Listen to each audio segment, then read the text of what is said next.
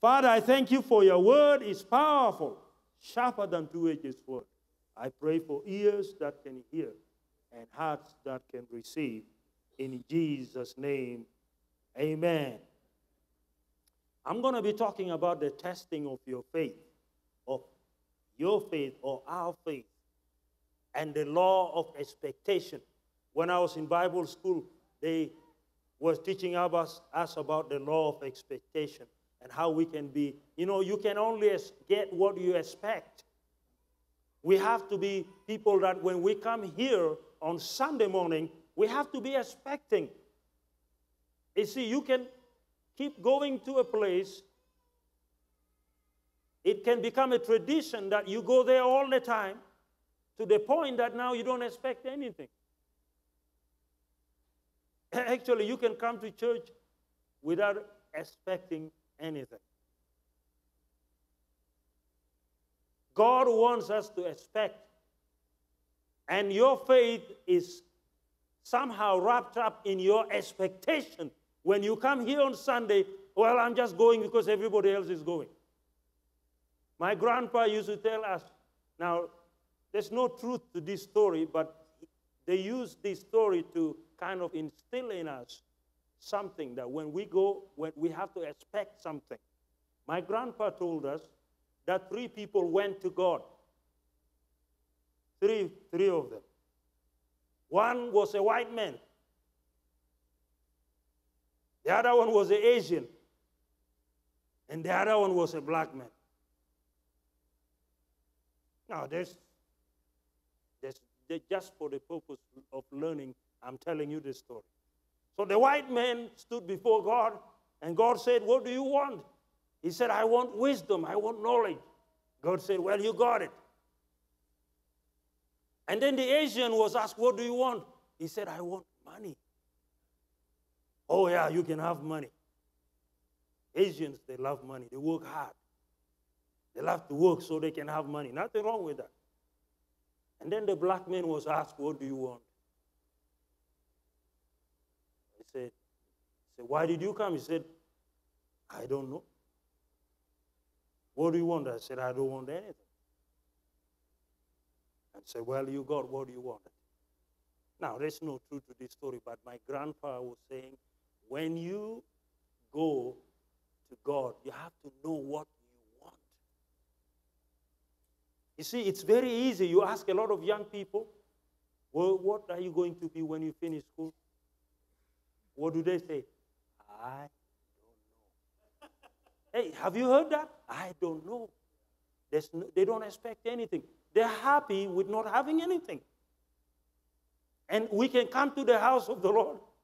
We even don't know why we came. We can be sitting there, the gods of angel army. We can even sing that song. But we don't know what we want. What do you want? Solomon, a little boy, God appeared to him. Second Chronicles chapter 7, there you read, God appeared to Solomon and he said, What do you want? And Solomon was very so wise, he knew what he wanted, he didn't waver between, I want money. No, he didn't ask, well, maybe I need this. No, he said, Lord, that I may have wisdom. And God said, It's given to you. But because you did not ask for money, I'll give it to you. God was so pleased with Solomon because Solomon asked for the right thing. Oh, I wish we can ask for the right thing when we come here on Sunday there is so much that you can ask God for. Maybe you have money in your account because we always think that's what we should ask. Maybe your bills are, are all paid. But you can sit here, maybe you have everything in order in your house. But maybe you can come to church on Sunday and begin to sit here and say, Lord, today I'm going to go there. Maybe I don't have anything to ask from my bucket list, how about I ask something for that person there? How about I ask something for the city of Regina? People are going to hell in this city. They don't know Jesus. Oh Lord, give me a heart that can cry. Like the heart of Jeremiah, he wept for the city of Jerusalem. He repented for their sins. He cried for them. That means it's not about you now. You're crying for somebody else. Actually, if you're a person who can cry for somebody else need, God will meet all your needs. Can somebody say amen? If you can cry for somebody else's need and weep for their need, God will meet your needs because He knows that you're going to be busy interceding for some people. My goodness, I believe that we have to come to church with expectation. If we can really understand the law of expectation, means we are going to church. I believe God is going to do something there tomorrow. Lord, I looked at my bucket list. Oh, maybe I don't have money. Maybe I need some healing. Maybe I need this. I need my kids to be on order. All the bucket list you have, if you prayed for all of them and you feel, because the place where you're going to backslide, many of us backslide. Many of us actually become disconnected from God when our needs are all met. And then we think, now I've arrived. But this is not about me. My goodness, a prayer meeting, what was Jesus doing praying for one hour? Have you ever asked yourself? Can you pray for an hour? It's very hard. For half an hour, it's very hard.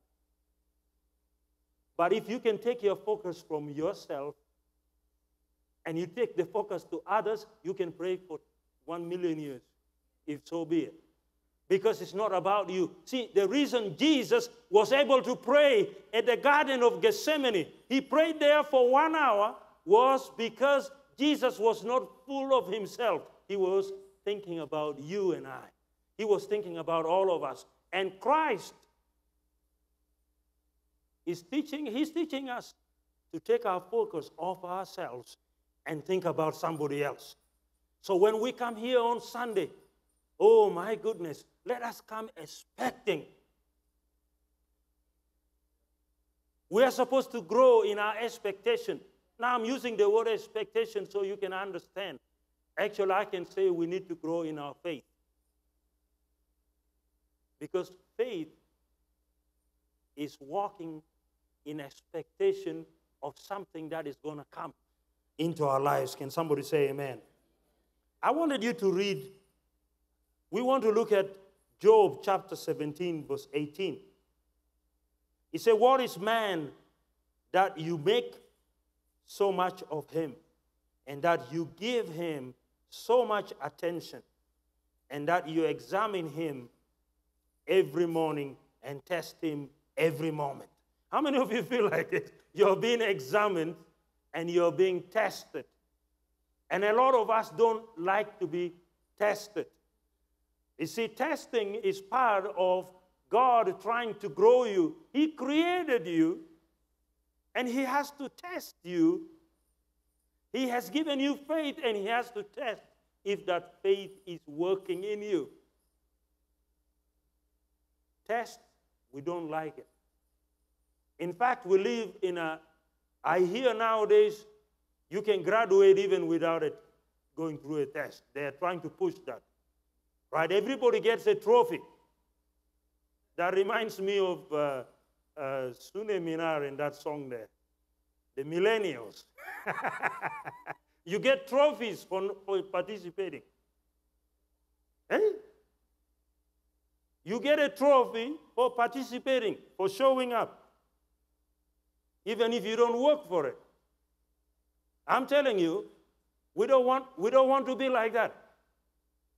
They are trying to get out in schools, they are trying to abolish awards. You know, where kids that did well, they, give, they, get, they get given an award. They want to take that out. So everybody is the same. But the reality is, when you get to life, it's not like that. You have to work hard, you have to pursue there's nothing wrong. In fact, the Bible talks about God. He detests people that are lazy.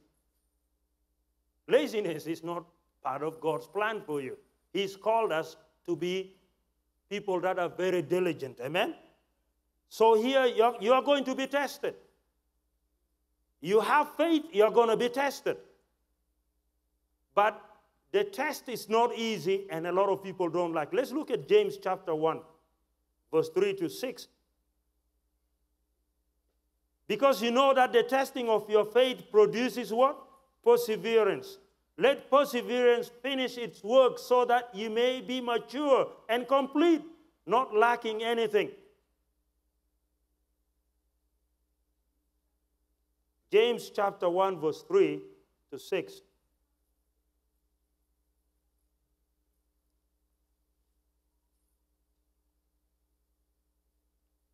The testing of your faith is very, very important to God. God wants to test your faith, and that's why you're going through difficulties. And how is He doing it?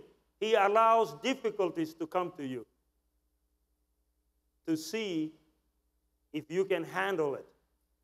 I remember I saw a, video of uh, they have this big truck. They want to see how that truck can carry load, and they, all the shock the shock absorbers in them were tested, and then they took it to a very rough place, and they drove it really rough to see how it can take the tension that is getting from that truck. And God is, God is taking us through those rough, difficult times because He wants to see if you are able to observe it because He has given you shock observers. Your faith can handle that. Can somebody say amen? He has given you everything that you need to handle the tension. But then we think, oh my goodness, I'm going through all this because the devil, or maybe because, oh, I'm giving up. So we give up even before we start through the, the test we run away. And that's why James is telling us that, brethren, count it all joy when you go through all kinds of trials. Count it as joy because it is in the end of the test you win. How many of you know that promotion comes right after the test? That sounds like us talking there, my sister. when I was in Moose Jaw, Many people don't know that. I was planning to come to Regina since 2000 to start the church. And my pastor, I, I, I listen to when pastors talk, I, we go and ask, and if they say no, we said, okay. Well, pastors are there for a reason. A lot of people say, oh, pastor, you are my pastor. As soon as you want to tell them something, they, Well, don't call me a pastor then. They like to tell you what to do. So I, I asked, and he said, No, you can't go to Regina now. Let's serve the Lord in, in Moose Jaw. People are getting saved, Pastor David. Said here. Ah, man, I want to come to Regina. There are more people. I can talk to them. so we drive, me and my wife. In the weekends, we can drive here. Ah, man, we want to be here. But we're in Moose Jaw. So, but then one day I decided I'm just going to stay in Moose Jaw. I'm going to serve the Lord in Moose Jaw. I'm going to live in Moose Jaw, serve the Lord as if Jesus is coming tomorrow. And if he comes tomorrow, then we don't even have to do anything. But at least if he comes, he will find me with my hands on the plow. Oh, because, see, if I just leave Moose Jaw, because there was a time I was so full of Regina that there was nothing happening in Moose Jaw. In fact, all the people that I'm getting are running away because I, I have no desire. You know, you can know if somebody's really excited about you. They see that Pastor David is not for us now. He's thinking about Regina now. So I'm not able to encourage them anymore. I was not able to pray for them anymore. During prayer, we're praying, my thoughts are all in Regina, not Moose Jaw. So the people are all getting scattered. The Bible calls it, called that double-minded. Being double-minded. You're neither here nor there. God said, this kind of people, you will not get anything from God if you're double-minded. So I decided, okay, Regina, I'll take you and put you in the shelf. Not forgetting that. I'll put you there, but I'll just focus here. Because if I focus here and I do this well, if I succeed here, then God will promote me there. Because God is God cannot bless laziness. God cannot promote a failure.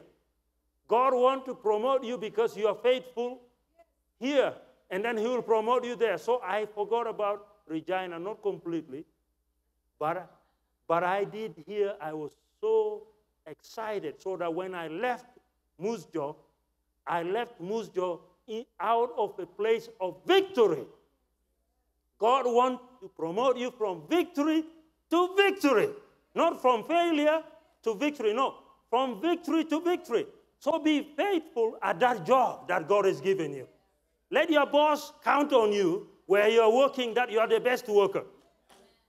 If you're serving the Lord in this church, do it with all your heart. Then God will give you something great. Amen? But you know what? If you're not faithful here, why would God give you another one?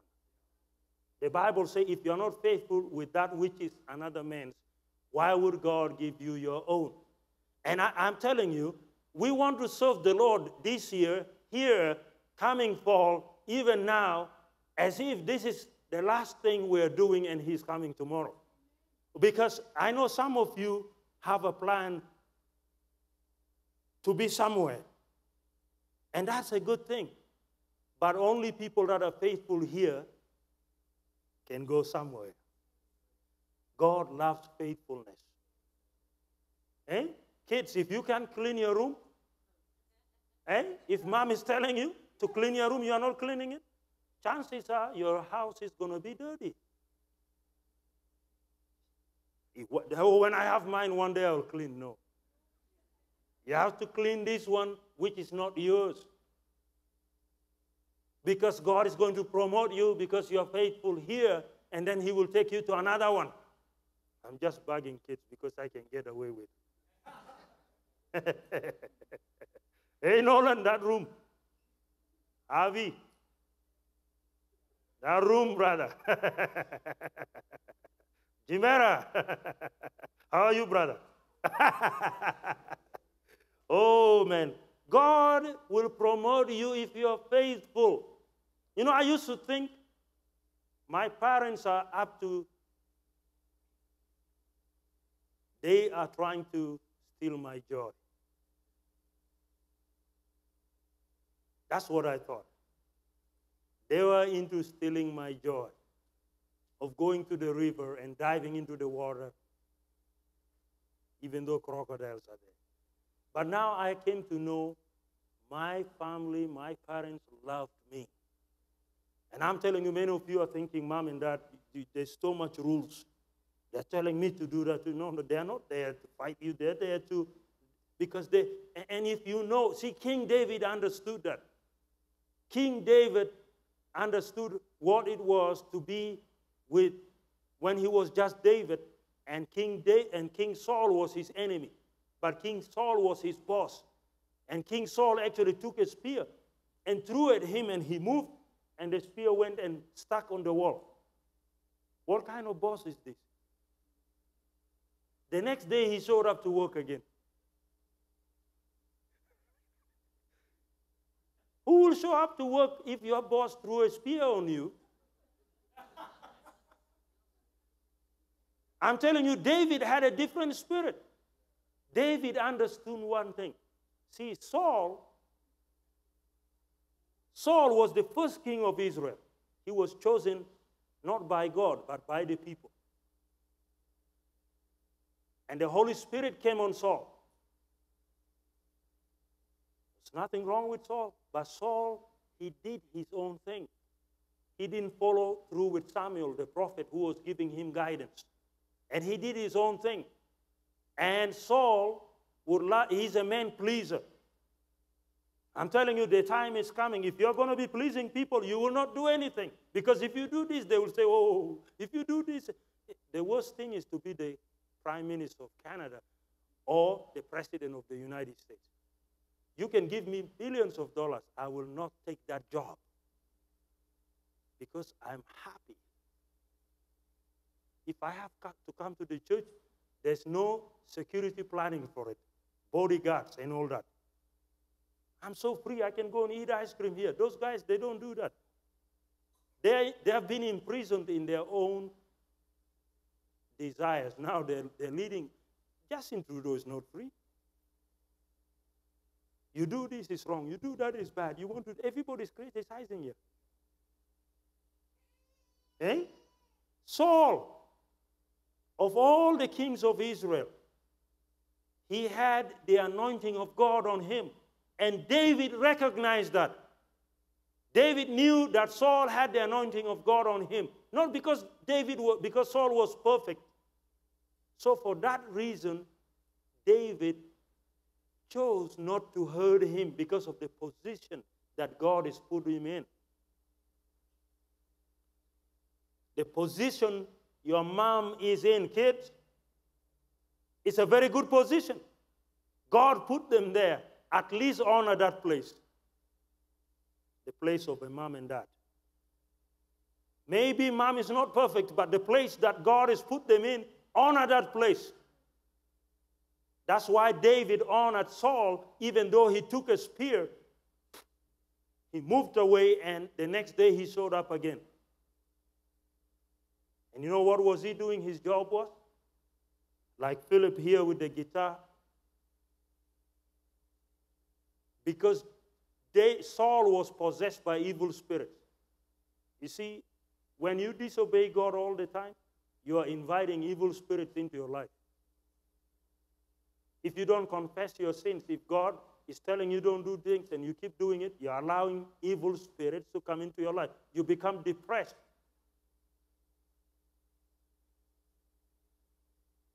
You can recognize people. A lot of people are struggling with depression in North America, even in Canada, and many times we think it is a medical problem. Most of it is just rebellion, sin that is taking root in our hearts. We just keep doing things the way it, we were doing, and we're expecting a different result. That man was depressed by evil spirits. And what happened? They bring David. David was anointed. He plays his guitar. The God of angels army, He's always by my side. La la la la la la. And, the, and Saul was sitting there in his throne.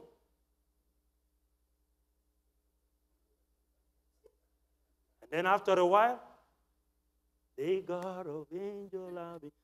And the Bible said the evil spirits left Saul because of the presence of the Lord, because David was leading worship. And that's why when we come here, I'm telling you, you don't see it. I know it all kinds of spirits leave. Because that's why praise and worship is very powerful.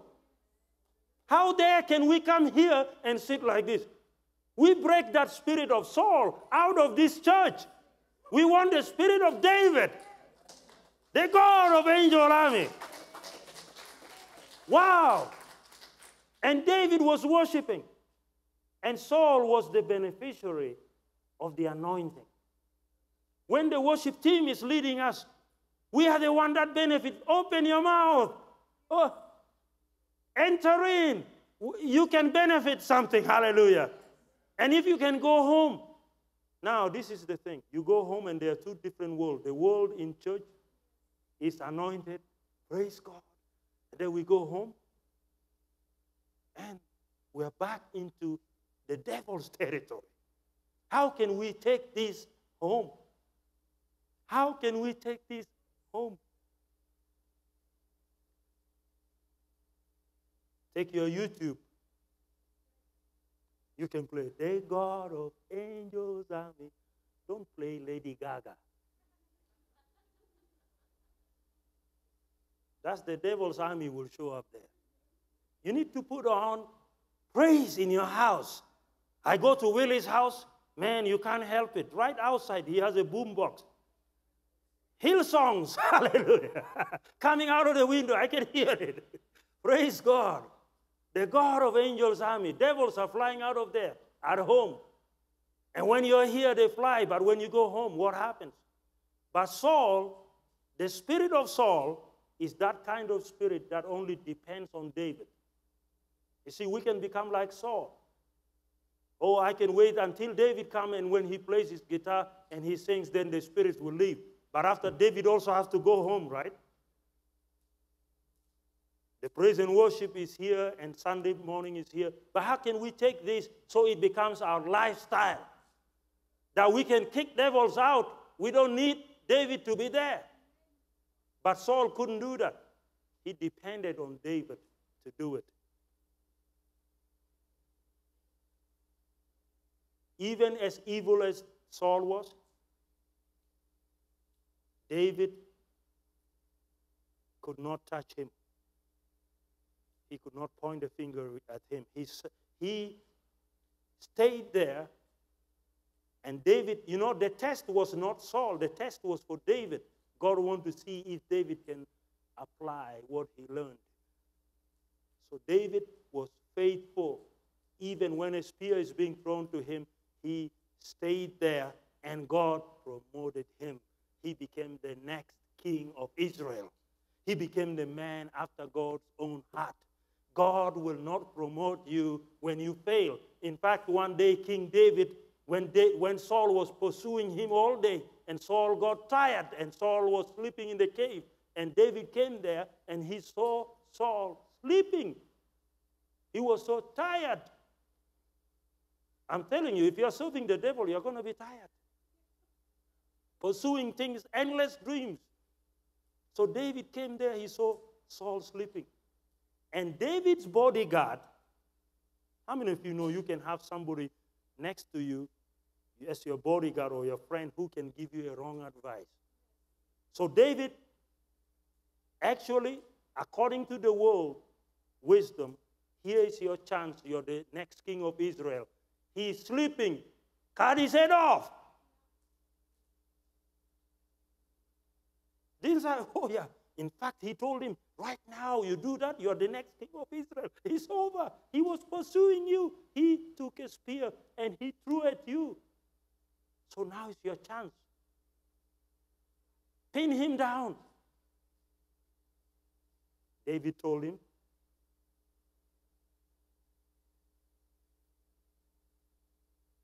So he took a knife, cut the hem of his garment. He said, Leave him. He said, You will not touch the anointed of the Lord. Saul is anointed. He was throwing his spear at the people. Yes, he was anointed. Regardless of throwing spears at people, of all the evil things he did, the position he was in is anointed. That is to tell you when God put people in a position, watch out you will find yourself in a place where you're fighting God. God knows they are not perfect. God put them there, He will take them out. David left it for God to do His work, and he persevered. He, he was tested. That was a test for David. If he would have killed Saul, he would not be the, the next king of Israel. And many of us are going to be tested. And his friend is telling him, Here's your chance. He said, His bodyguard, he said, No, I'm not going to do that. You're going to be tested. The testing of your faith is necessary because God wants to promote you. Are you going through difficult times? Maybe financial, maybe emotional, maybe marriage, maybe kids, maybe all kinds of things. This is a test because God wants to promote you. Can somebody say amen? Let's look at another scripture. Let's go to 1 Peter 1 6 to 7. 1 Peter 1 6 to 7. 1 Peter 1 verse 6 to 7. Uh, here it says, For a little while you have had to suffer great and all kinds of trials. These have come so that your faith may be proved genuine. These things have come so that your faith can be proved genuine. You know, like our sister, you know, your kids are in the Philippines. You're here. You know what? kind of faith is needed in this hour to fight a situation where a husband and wife are separated because she has to work here in Canada and the kids are in the Philippines. Praise God, we have Skype. You can talk to them, but it's not the same. The difficulties. And then you lose your job, and then you have to wait to get a job and to get your permanent residency and all those kinds of things. You see, it's a time of testing. But it also ends with promotion. Can somebody say amen? For a little while, you have had to suffer a great and all kinds of trials. These have come so that your faith may be proved genuine and may result in praise. Hallelujah. So when your faith is tested, the end result of it is to give God praise. To the extent that you've been testing, tested, the greater your test, it's a place for you, as the scripture said, that pain, pain may tarry through the night, but joy comes in the morning. Can somebody say amen? Weeping may tarry through the night, but in the morning there is joy. Joy, I'm telling you, tell me, somebody who has suffered. And then in the end, he gets what he wants. I'm telling you, and he comes here, he will praise God like better than anybody else. Hallelujah. Wow. Have you suffered loss of things, things, difficulties, and God has answered your prayers? I will see it from the way you praise Him. You will not care what people think about you because you want to praise Him. But I'm telling you, we all know that Jesus did for us something far greater than paying our bills. He's done greater things. He's done greater things. He wrote your name in the book of life. Amen. Isn't that something great that we can get excited about? Eh? Hallelujah. Oh, praise God. So your faith is tested so that it can be proved if it is genuine or it is false. Praise the Lord. Hallelujah. God is testing you so he can refine you. God is testing you so he can refine you. We have a refinery here. How many of you drive by it when you go to the dump? Somewhere here on McDonald Street. There's a refinery going there. that place as soon as I go like this, I thought I was going to hit a car or something. Somebody on, because of my eyes are, oh, what is that? They're refining, but the smell is not very good. Eh? The smell is not very good. And then they have a big tank there where all the impurities that are taken out of the refinery is dumped there. And then they get the quality gasoline for us to drive our cars. But if you look at the smoke and the fire, that is going on there. There's a lot of heating that is going on in that place. And this reminds us of, of God being the refiner.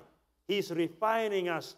But the process of refinery is not easy, it's painful, it's hard. Am I speaking to somebody? You're, we go through this time, the testing of your faith. Let's look at Isaiah 48, verse 10. He said, I have refined you, though not as silver, I have tested you in the furnace of affliction. I have refined you, though not as silver, I have tested you in the furnace of affliction. Affliction. Wow, that's what we don't like. But I'm telling you, God is trying to test us. The Bible frequently compares our problems and difficulties to a furnace the furnace of refiner's fire, who heats it up so high that the gold and silver melt and all the impurities are burnt, so that the best come out of it. Hallelujah. The best is yet to come, guys. When we go through difficult times, you need to begin to praise the Lord. You need to begin to worship the Lord. You know, see your attitude. Last week we talked about attitude. It's the smallest thing that makes a big difference. It's a very small, but uh, uh, your attitude is very important. How do you handle things when your life is difficult? An old silversmith who was he was asked, How do you know when the impurities are burnt away in the silver?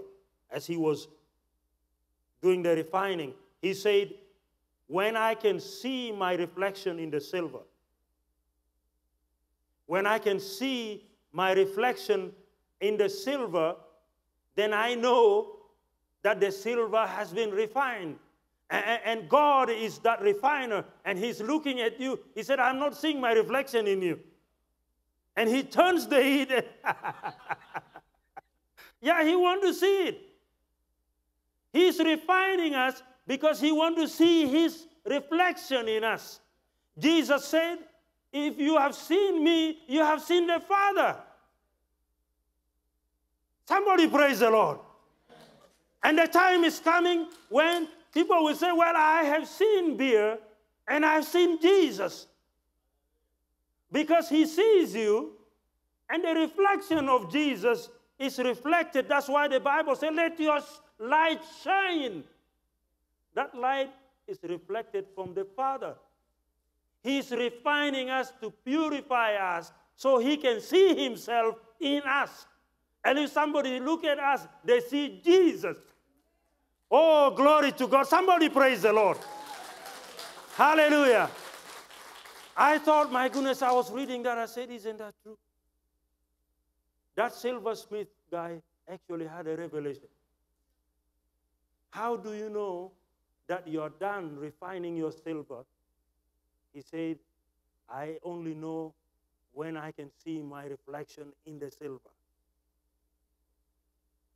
God is not done with you, He's not done with me until He can see His reflection in you. Oh, and people look at you. I can give you another example. Moses.